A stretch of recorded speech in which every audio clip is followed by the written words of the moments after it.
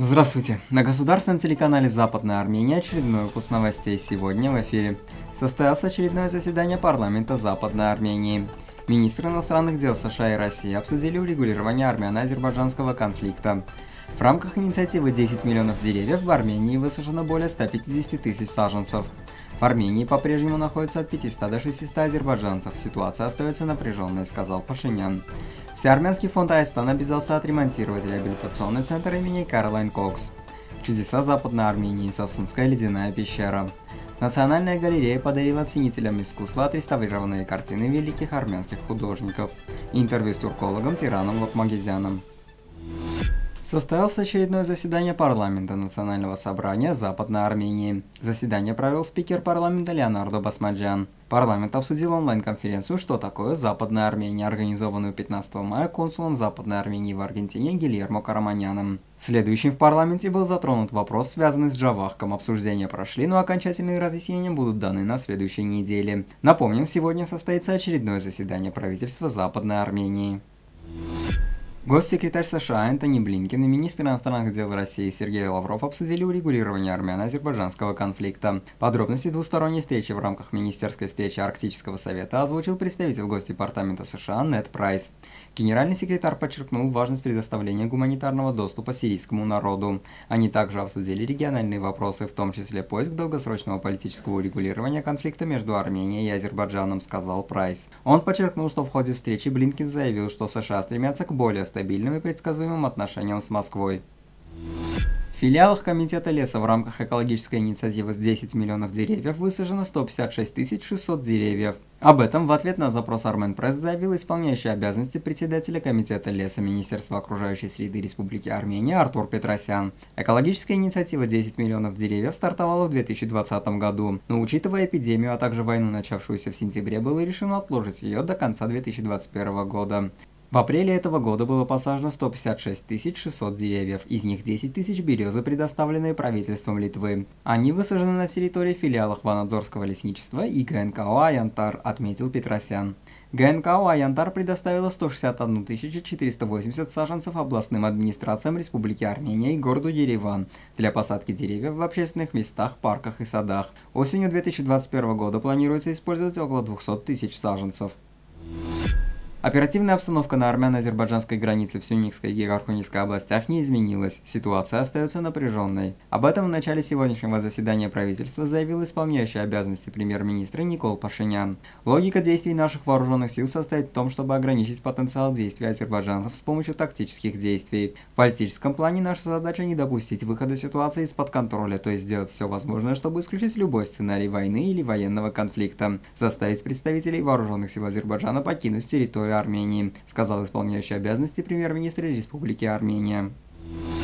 Реабилитационный центр имени Каролайн Кокс в Степанакерте единственный в своем роде в Арцахе. Центр был основан в 1998 году по инициативе баронессы, члена Палаты лордов Соединенного Королевства, бывшего вице-спикера Каролайн Кокс. В течение 23 лет Центр предоставляет реабилитационное лечение для людей с ограниченными возможностями, продвигая их независимость, социальную интеграцию и улучшая качество их жизни. Центр уже около трех месяцев оказывает реабилитационное лечение военнослужащим раненым в ходе Второй Арцахской войны.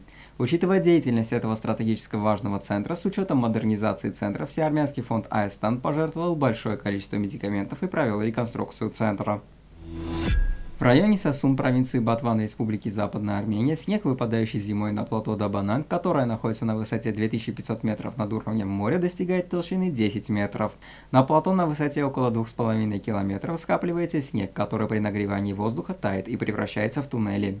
Эти туннели чудо природы привлекают внимание любителей природы, фотографов, а также местных жителей. Посетители туннеля имеют возможность охладиться в жаркую погоду. Если вы хотите увидеть это чудо богатой природы Западной Армении, рекомендуем вам посетить даже при небольшой возможности. Национальная галерея Армении представляет отреставрированные картины выдающихся художников 20 века Горга Башинджагяна, Мартироса Саряна и Акопа Коджаяна широкому кругу ценителей искусства. Как сообщает Армен Пресс, торжественная церемония открытия выставки состоялась в одном из выставочных залов галереи. Выставка напрямую связана с названием Международного дня музеев в этом году. Будущее музеев преобразовывать и переосмыслять. Мы решили коснуться реставрации и впервые в истории галереи открыть выставку отреставрированных экспонатов, сказала директор галереи Марина Акопян. По словам Акопян, на выставке представлены не только отреставрированные картины, но и самый сложный процесс реставрации, который проводился до достижения окончательного результата. Картины Бажинджагана, Саряна и Коджояна были отреставрированы за полгода. Картины были в крайне плохом состоянии. Проделана серьезная работа, благодаря которой картины украсят стены галереи. В эфире телеканала «Западная Армения» тюрколог Тирян Локмагюзян рассказал о проблемах безопасности Армении. Частности, о ситуации в Сюнике, проанализировал шаги, предпринятые Турцией, которые можно ожидать в будущем. Он коснулся возможных реакций ОДКБ, возможных вариантов оказания военной помощи от Китая, Индии или Ирана.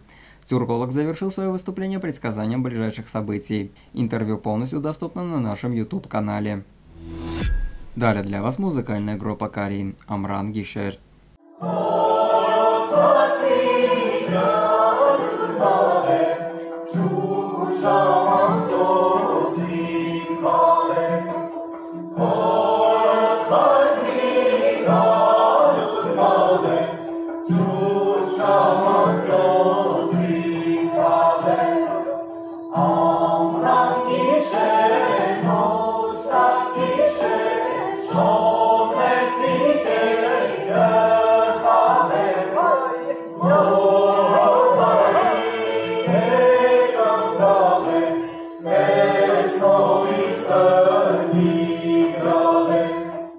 Полная версия видео доступна на официальном сайте государственного телеканала Западной Армении. А на сегодня все. Желаем вам всего хорошего.